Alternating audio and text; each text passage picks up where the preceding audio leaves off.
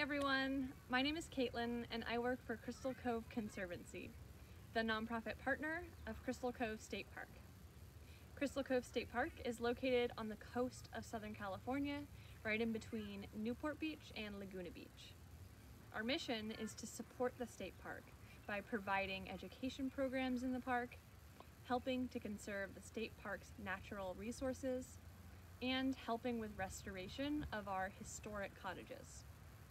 Crystal Cove State Park is located in coastal Orange County in Southern California, and it contains 3.2 miles of beautiful undeveloped coastline, an offshore marine protected area, and 2,400 acres of backcountry, which is where we're located right now. So I'm here in an area called Moro Canyon. This is home to a unique and threatened habitat called coastal sage scrub. This habitat type is really only found in coastal areas of Southern California and parts of Baja California in Mexico. And a lot of it has been lost over the years due to human impacts. Even parts of Crystal Cove have been degraded by human activity. Because this is such an important place to protect, we're asking for your help. Crystal Cove Conservancy is partnering with scientists from UC Irvine and land managers here in Crystal Cove State Park to investigate the best strategies for protecting the ecosystem here. But we can't do this alone.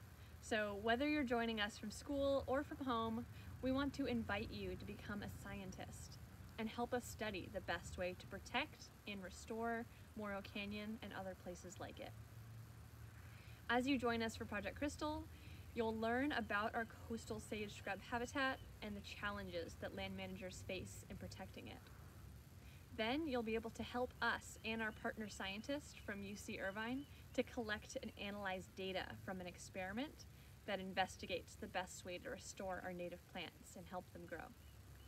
Finally, you'll be able to share your recommendations with the land managers here at Crystal Cove State Park to help them decide on the best strategies to use when restoring degraded areas.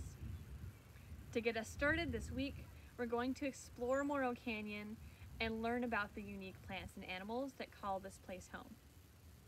We'll also learn about how the history of human use in Moro Canyon has impacted our landscape and start thinking about what we can do to protect the native habitat.